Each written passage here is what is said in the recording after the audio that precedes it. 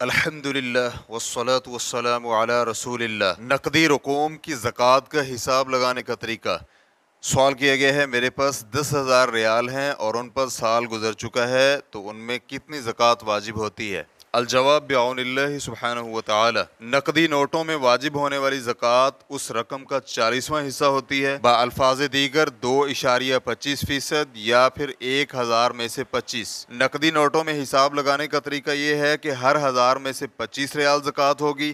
چنانچہ اگر آپ کے پاس دس ہزار ریال ہیں تو دو سو پچاس ریال مجموعی زکوٰۃ ہوگی۔ دوسرا طریقہ یہ ہے کہ نصاب کو پہنچنے والی یا اس سے زائد رقم کو چالیس پر تقسیم کر دیا جائے تو حاصل جواب واجب الادا زکوٰۃ کی مقدار ہوگی۔ لہٰذا اگر آپ دس ہزار ریال کو چالیس پر تقسیم کریں تو اس کا جواب دو سو پچاس آئے گا اور یہی واجب زکوٰۃ کی مقدار ہے۔